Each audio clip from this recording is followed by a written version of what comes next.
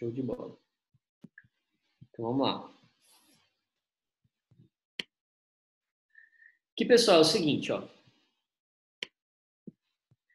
Então, questão 37, né, da Funil. Vou jogar isso aqui para cá.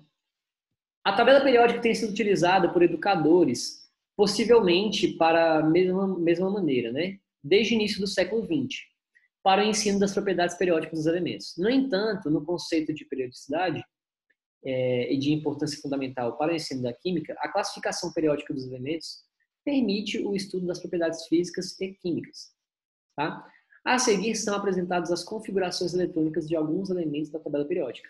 Pessoal, o que, que vocês têm que saber dessas questões aqui, tá? É, saber da questão da tabela dos subníveis. Então, vocês lembram lá nos modelos atômicos, né, quando a gente tem Rutherford, né? Aí o Rutherford ele vem com o modelo do planetário, né, falando que o núcleo ele é positivo e está no centro, que a gente vai ter uma eletrosfera negativa em volta, tá? E aí, neste caso, o que, que vai acontecer? É, esses elementos dessas camadas, eles têm subníveis. Esses subníveis, eles podem ser subnível S, subnível P, subnível D e subnível F, né? SPDF, né? São Paulo DF. Esses subníveis, pessoal, também é interessante saber que é o seguinte, tá? Esses subníveis, ó,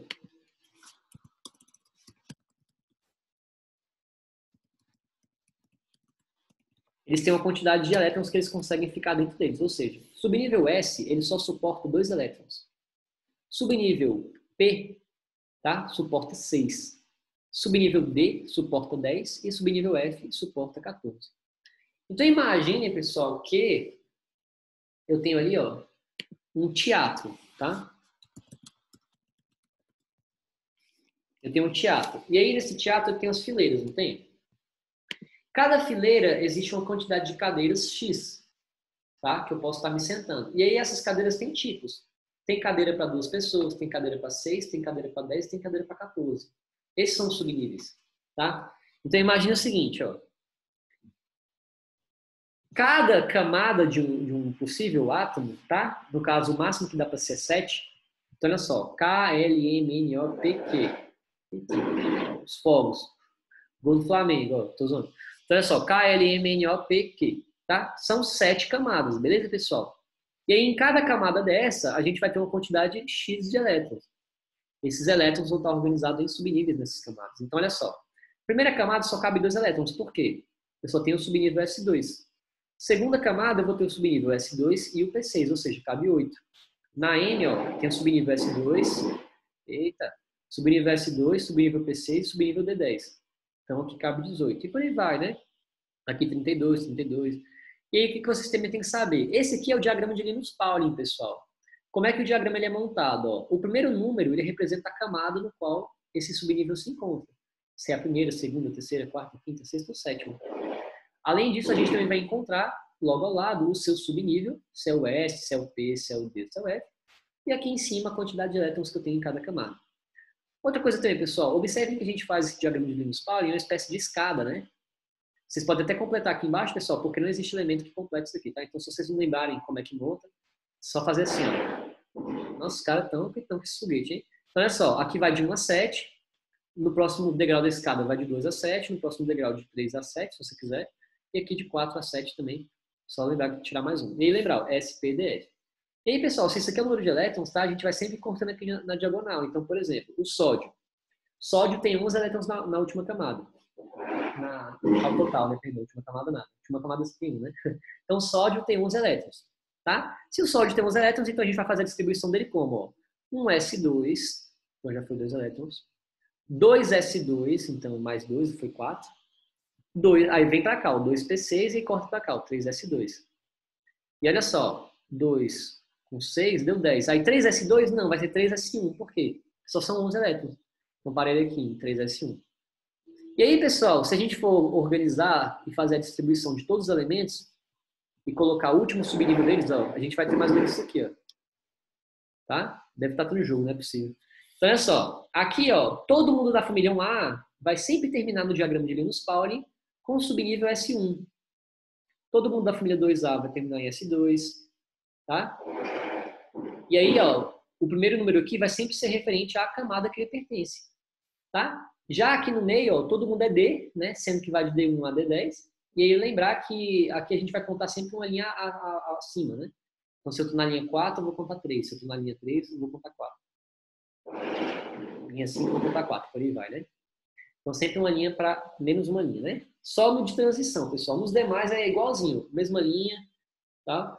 Então, por exemplo, ó, a gente tinha feito ali o sódio. O sódio, pessoal, ele está na primeira coluna, terceira linha. Por isso que ele termina aqui, ó. 3 assim, tá? O P também ele vai aqui, ó, de P1 até P6, sendo que P6, pessoal, são os gases nobres, tá? Então, ou seja, eles vão ter um octeto preenchido, tá? Aqui na questão... Gente, velho, tá chato esse fogo, né? Então, aqui no final, aqui a gente consegue entender, tá? Ele quer saber mais ou menos a posição desses elementos e tal, onde é que eles estão, qual elemento é. Então, aqui a gente pode até descobrir que elemento é, só olhando aqui o final, ó.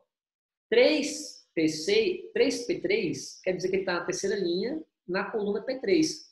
Coluna P3, pessoal, olha só, P1, P2, P3, né? Aqui, ó, família do boro, família do nitrogênio, família do, oh, perdão, família do carbono, família do nitrogênio. Então, 3P3 ele é da família do nitrogênio e está aqui na terceira linha, tá? Interessante isso. Beleza? E aí, pessoal, outro ponto também que eu quero que vocês revisem é o seguinte, ó. As propriedades, tá?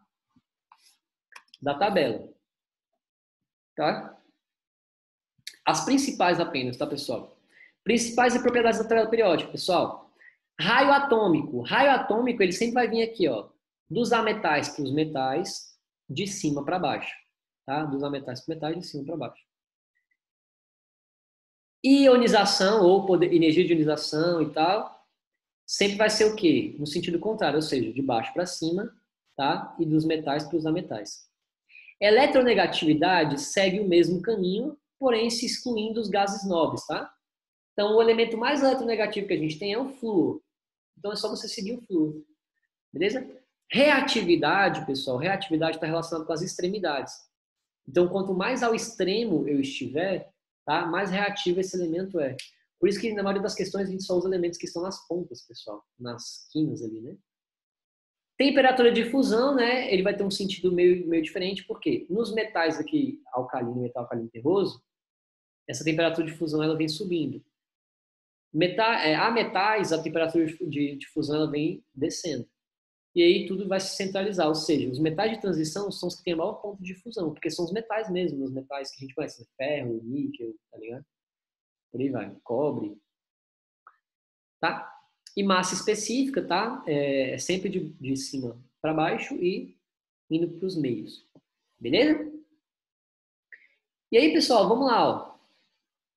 Aqui ele pergunta algumas coisas, como por exemplo, ó, o elemento 1, o elemento 1, pessoal, se ele terminou aqui ó, em 3, P3, quer dizer que ele é família do nitrogênio.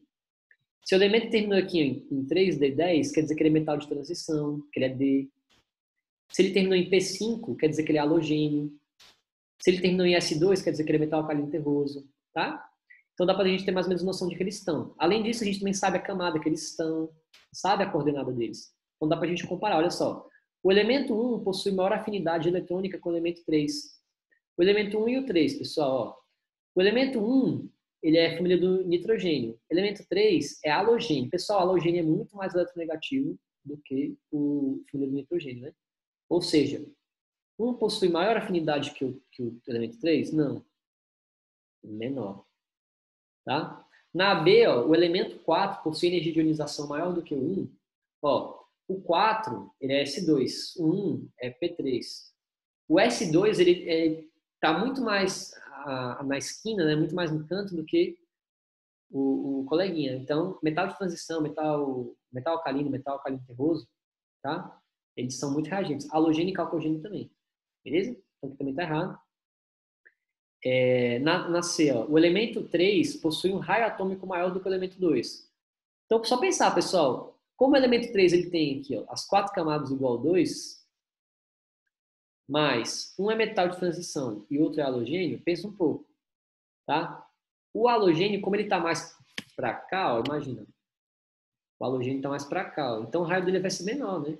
O halogênio está para cá, o metal de transição está para cá. Então quem vai ter o maior raio? O metal de transição. Mesmo os dois tendo a mesma coluna, sendo, sendo da mesma tendo as mesmas camadas, né? Ambos têm quatro camadas, porém, um está mais do lado negativo ali, ou seja, o raio é menor, tá? E por fim, a D, que é a correta, né? O elemento 3 possui uma maior eletronegatividade do que o 4. Sim, né? Porque o 3 eles são halogênios, né? O 4 é metal alcalino terroso. Então, se vocês forem pensar em eletronegatividade, né? Lembrar que a eletronegatividade ela cresce em relação ao sentido do flúor, né? Como halogênio é a família do flúor, né? Obviamente é a família mais eletronegativa. Beleza? Aí, vamos lá. Na 38, né, que tinha dado problema aqui, porque a formatação deles está tudo errada, tá? Mas aqui, pessoal, é para vocês considerarem como sendo só, tipo assim, ó, onde tem esse, esse, essa interrogação, é um ΔH aqui, tá? E aí, isso aqui é as entalpias de formação. Beleza? Então, olha só. A glicose, carboidrato do tipo monossacarídeo, é utilizada como fonte de energia primária pela maior parte dos organismos, das bactérias ao ser humano. Além de fazer parte de importantes vias metabólicas. De posse das três equações termoquímicas a seguir, tá? Então, ele deu para a gente aqui, ó. É carbono mais oxigênio, formando gás carbônico, né? Com energia de, de ionização aqui de 393,5 kJ por mol. H, é, H2 mais I, I, um meio de O2, né? Formando uma água. Vai ter uma, um ΔH aqui de 286. Tá? E aqui embaixo ele deu para a gente a reação da glicose. A glicose mais 6 oxigênio, formando 6 gases carbônicos mais 6 águas. Então, pessoal, basicamente é o seguinte, ó, ele quer saber, ó, pode-se afirmar que a entalpia de formação de 18 gramas de glicose corresponde a Pessoal, a glicose é C6H12O6, né? Se a gente for pegar a forma molecular disso aqui, ó, como é que vai ficar? Cada carbono vale 12, né? Então vai ficar ó, C12 vezes 6 mais o hidrogênio vale 1, né?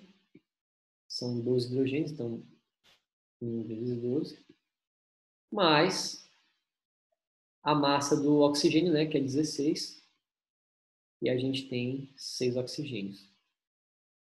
Dessa forma, pessoal, ficar aqui, ó, 12 vezes 6 dá 60.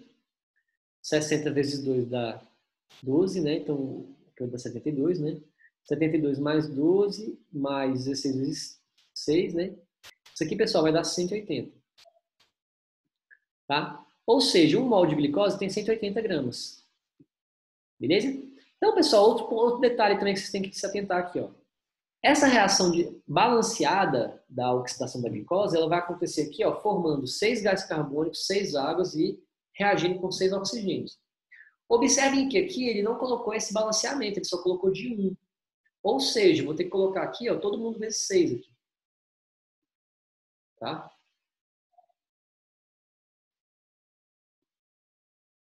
Vamos assim, vezes e aqui embaixo, pessoal, obviamente também, tá? Também tem que ser um vezes 6 por causa desse oxigênio. Tá? Então, pessoal, primeiramente, o que a gente vai ter que fazer? Ó? Pegar a entalpia de 393,5 e multiplicar por 6. Tá? Que seria a quantidade de carbonos aqui, né, pessoal? Então, 6. Então, vai ficar aqui, ó. 393 vezes 6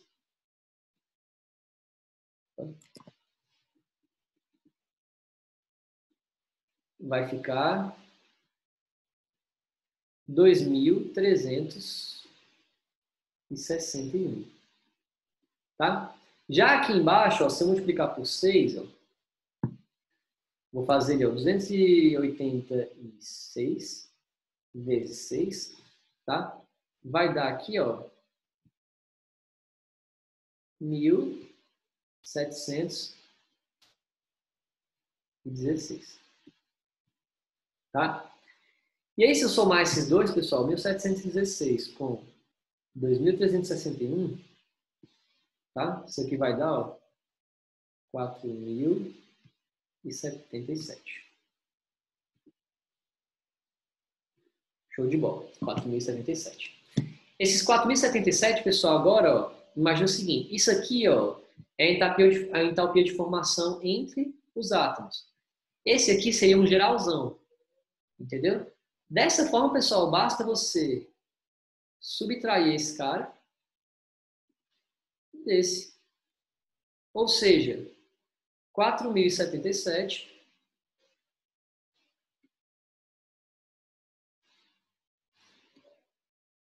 menos 2.807, tá? a gente vai encontrar quanto, pessoal, aqui, ó? 1.270. Só que 1.270 quilojoules, tá? Isso seria, pessoal, para um mol, que seria 180 gramas. Na questão, ele quer que a gente trabalhe. Então, olha só. 1.270 equivale a 180 gramas, que é um mol. Só que a questão quer com 18. Ou seja, aqui vai ficar 127. Tá? Letra B. Na 39, pessoal, é o seguinte, ó. O pirofosfato de potássio, segundo, segundo a ficha de informações da segurança de produtos químicos, deve ser estocado em locais secos e bem ventilados, mantido longe da luz solar, água ou vibrações, que possam abalar suas embalagens, que devem ser de polietileno ou aço inox. A fórmula química da substância citada no texto pode ser representada por, como eu estava falando ontem, pessoal, tá? Pirofosfato, tá? Quando vocês verem piro, é isso aqui, tá? Ó, P2O7 menos 4, tá? Então, piro é P2O7 menos 4. Gente, isso aqui, tipo assim, tem que saber, e é, é ponto, sacou? É uma parte da matéria que eu sei que às vezes a gente não vê muito na escola, no cursinho e tal. Mas é isso, nomenclatura de química que ele cobrou de vocês aqui. Então, piro, lembrar que é P2O7. E aí lembrar que é P2O7 menos 4. E aí, no caso, se é o pirofosfato, né? o fósforo, o potássio. Pirofosfato, né? de potássio. Tá? Potássio ele tem um NOx mais 1. E o pirofosfato, tá? O NOx menos 4. Dessa forma, jogo o 4 para cá e o mais 1 para cá vai ficar K4, P2O7, né? Então, assim, questão bem específica mesmo, tá? Ficar atento a essas nomenclaturas de inorgânica. Depois fazer uma revisão com vocês, tá, pessoal? Mais abrangente, assim, tanto de química orgânica quanto de inorgânica, né? Essa parte de nomenclatura, estrutura de moléculas. Beleza? Vamos lá. Questão 40, ó. A dipirona sódica, massa molar de 351 gramas por mol, é, é uma das drogas mais utilizadas no Brasil, fazendo parte de vários fármacos conhecidos, né, como Lisador, né, Dorflex, Neusaldina, né? O Neusaldina contém 300 miligramas de dipirona é, sódica né, em cada drágia, com indicação de ingestão de 1 a 2 drágias a cada 6 horas. Não devendo ultrapassar a ingestão de duas drágias quatro vezes ao dia. Ou seja, pessoal, o máximo que ele vai fazer aqui vai ser duas a cada seis horas, tá? E aí ele vai fazer isso quatro vezes ao dia. Ou seja, se ele tomar uma meia-noite, então imagina, ele tomou uma meia-noite, ele toma uma outra seis horas, ele toma outra meio-dia, a outra 18 horas, e aí ele vai repetir a outra de novo meia-noite. Então, ou seja, ele vai tomar no máximo quatro vezes por dia. Se ele toma quatro vezes por dia, duas, duas pílulas no máximo então, por dia, ou seja, ele consome quatro, é, quatro vezes dois, ou seja, oito dragas por dia. E cada draga dessa, pessoal, ela vai ter aqui, ó, como ele disse pra gente, 300 miligramas. Ó. 300 miligramas. Lembrar que mili, pessoal, é 10 elevado a menos 3, né? Então, 10 menos 3 miligramas, né? Aqui 300 miligramas, né? E aí o que, vai acontecer? 8 vezes 300, essa pessoa ela consome por semana, não, por dia, perdão, tá? É 2.400 miligramas. Isso por dia. A questão quer saber, ó, por prescrição médica, foi recomendado a um paciente a dosagem máxima de 3 dias consecutivos. Então, ele vai usar um dia 2.400 miligramas, em 3 dias, ou seja, 2.400 vezes 3, a gente encontrou aqui 7.200 miligramas. Tá? Ou seja, 7.200 miligramas é a mesma coisa, né? Se isso aqui é 10 a menos 3, é a mesma coisa de falar que é 7.2 gramas. Tá? Então, olha só, 7.2 gramas que é o que ele consome. E aí, por fim, né, para a gente terminar aqui a questão, ele fala para a gente aqui que a dipirona sódica ela tem a massa molar de 351 gramas por mol. Ou seja, um mol de dipirona corresponde a 351 gramas, né? E aí, nesse caso, a gente vai ter 7,2 gramas. Vamos fazer a regra de 3, né? Então, olha só. Um mol corresponde a 351 gramas. E três dias de dipirona, tomando pra caramba aqui, três dias, né? As 8 pílulas por dia, a gente vai estar consumindo 7,2 gramas dessa dipirona. E aí isso em mols representa quanto, né? Então vai ficar assim, ó, 1 mol está para 351, 7.2 está para x, né, que era como se fosse x, e aí a gente faz aqui, ó, 7.2 vezes 1 dividido por 351, que dá quanto? 0,02. 0,02, se vocês forem andar a vírgula aqui, ó, uma, duas casas, vocês vão encontrar 2 vezes 10 a menos 2. Tá? Que é a resposta letra B. Galerinha, até aqui tá tranquilo. Vocês têm alguma dúvida? Deixa eu ver como é que vocês estão aqui. Por 6 na 38. Tiago travou aqui. Tá. Deixa eu voltar lá, Caio, para você. Lá na 38. Na 38, Caio, foi o seguinte, ó. Observe que aqui, ó, é a fórmula geral, a equação geral. Ó, essa aqui é a equação geral. C6H12O6 mais 6 átomos de oxigênio, né, molécula de oxigênio, perdão, vai estar tá formando vai estar tá formando 6 moléculas de gás carbônico mais 6 moléculas de água. Para isso, eu teria que ter um, um contraponto aqui de 2.807 para acontecer, tá? Só que para a gente conseguir desfazer as, a, essas ligações e fazer de novo, ou seja, formar gás carbônico e formar água, tá vendo? Formou gás carbônico e formou água. Eu vou formar seis gás carbônicos e seis águas. Aqui, ó, são as reações parciais. Ó. Nessas reações parciais, você consegue entender o seguinte, ó. Para formar um gás carbônico, eu vou utilizar 393,5. Só que nessa questão aqui eu estou formando 6. Ó. Então, dessa forma, eu tenho que multiplicar aqui por 6. Aqui, a mesma coisa. Ó. Eu vou estar tá formando 6 águas. Então, tenho que, que multiplicar aqui por 6.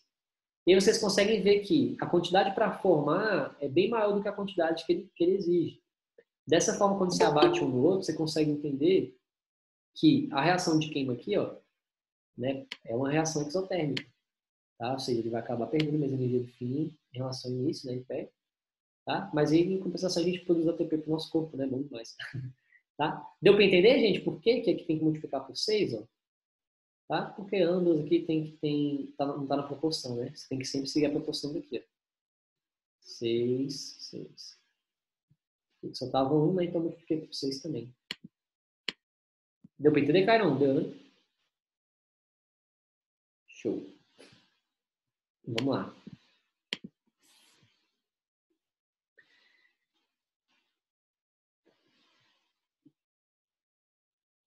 Questão 41, ó. O amor é fogo que arde sem se ver, é ferida que, que dói não se sente. Soneto famoso escrito por Luiz Vaz de Camões, né? Lançado em 1598. Tem o seu, isso aqui, pessoal, é a primeira geração romântica, né? É, tem, o, tem o seu modo de explicar né, a complexidade do amor, sabendo-se que, na verdade, o amor está relacionado à química, diretamente relacionado aos níveis de substâncias químicas produzidas pelas pessoas apaixonadas, como dopamina, serotonina e noradrenalina, é, que alta concentração traz a sensação maravilhosa de que o amor provoca. Vamos lá, pessoal. Aqui neste caso, né, o que, que a gente tem que fazer? Identificar as funções. Então, bem tranquilo. Ó. Aqui, observe que tem um neuromático ligado ao OH. Então, isso aqui é um fenol. A gente tem aqui o nitrogênio solto aqui no meio da cadeia, então é uma amina. Aqui a gente também tem ó, fenol, também ó, neuromático com hidroxila. Amina aqui em cima. Ó, amina aqui em cima. Amina aqui embaixo também. Tá? Deste lado aqui, a gente vai ter um álcool ainda aqui, ó. Isso aqui é um álcool. Aqui amina e aqui fenol. Então, observem o seguinte. Em todos vai ter fenol e amina. Tá? E as opções que a gente tem, ó, fenol, que é a resposta. Álcool, só tem no 3. Amida, nenhum tem. Todos são amina. E éster também ninguém tem. Tá? Então, isso quer...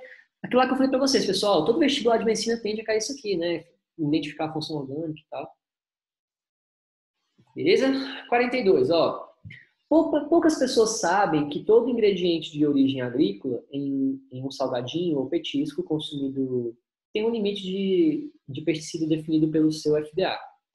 A páprica é um corante com a cor laranja bastante utilizado no controle do rígido, né?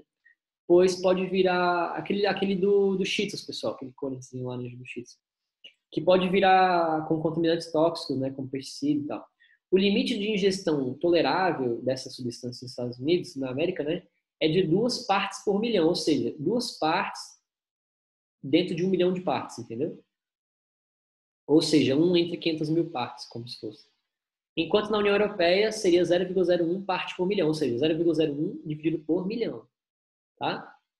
É, e aí, dessa forma, ó, em um determinado lote de páprica foram detectados 0,00005 gramas em 100 ml de solução. Em relação ao valor da remessa analisada, pode-se afirmar que. Então, pessoal, vamos entender o seguinte, ó. Aqui, ó, é duas partes por milhão. E aqui, ó, 0,01 partes por milhão. Se, nesse exemplo aqui eu tenho 0,0005, aqui eu vou dar uma, duas, três, quatro, cinco, ou seja, vou ter cinco vezes 10 a menos 5, correto? Só que aqui, pessoal, entendam, parte por milhão, parte por milhão é 10 a menos 6. Então, a gente vai ter que pegar esse divididinho aqui e colocar igual a parte por milhão, ou seja, tenho que levar ele até chegar a 10.6. Aqui tá fácil, ó, porque se eu andar mais uma vírgula, vai ficar 0,5 vezes 10 a menos 6. Agora sim, o 0,5 parte por milhão. Tá? 0,5 ppm. Então, para essas questões, pessoal, basta você transformar também parte por milhão, ou seja, só deixar 10 menos 6, e aí dessa forma você já consegue comparar. Ó. Então, ó, se ele quer comparar aqui entre Estados Unidos e Europa, enfim, né? Em relação aos Estados Unidos, ó, que é duas partes por milhão, ele está um quarto. Em relação à União Europeia, ele está um quinto. Isso. Então vai ficar aqui ó, um quarto dos Estados Unidos, né? Definido como um quarto dos Estados Unidos. Beleza? Letra C. De boa, pessoal. Aí assim, galera, o que, que eu vou ter que fazer? Como deu 9 horas, eu vou marcar com vocês até para amanhã mesmo, tá? Se vocês não conseguirem participar, também pode ficar à vontade. Eu vou fazer as questões de física com vocês, que eu já estou querendo fazer já tem um tempão. E na última aula eu não tinha conseguido gravar essa parte de química, também não queria deixar de gravar e comentar aquela questão de termo com vocês. Tá bom? Aí amanhã a gente combina então de, de terminar essa parte física. Beleza, galerinha? Até aqui alguma dúvida? Alguém quer perguntar alguma coisa? Deixa eu